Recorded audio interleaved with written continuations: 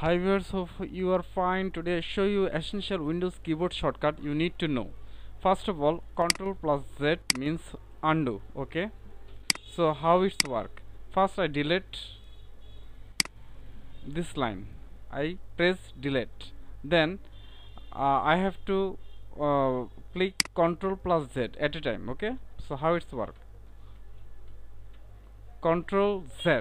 You press Control Z and it's back now. Okay so after that control a means all select. How it's work?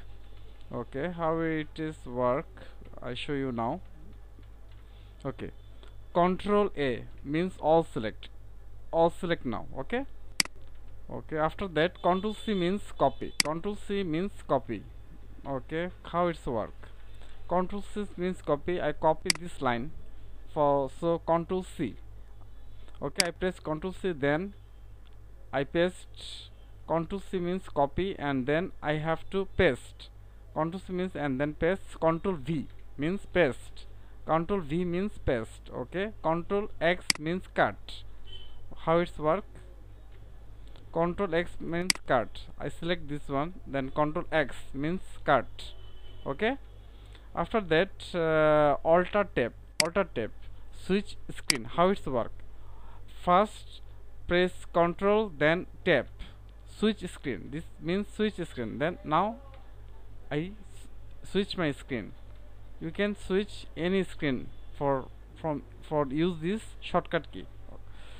So after that uh, control or control alter del means start task task manager. So I press control alter del.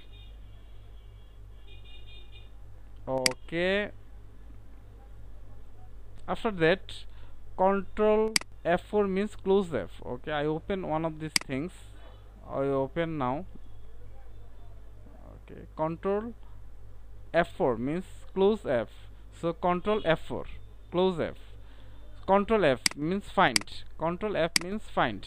So how it's work? Control plus F. See?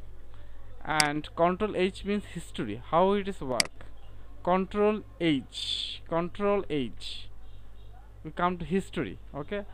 So uh, it's this history is means uh, I browse last two weeks or four weeks or one one month uh, I search something in Google but it comes out all the history. Use this shortcut key. After that control E means uh, select the search box okay how it's work? Control E search box. It comes the search box. It's cool. Control N means new window. Control plus N new windows. Okay? After that uh, control mouse scroll wheel zoom in zoom out. Control mouse scroll key. See? It works now. Okay win uh, plus L means lock screen I do not use this because it's lock my screen.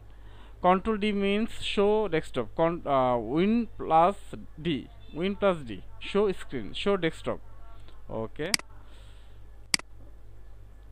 After that uh, uh, win print screen means uh, save screenshot.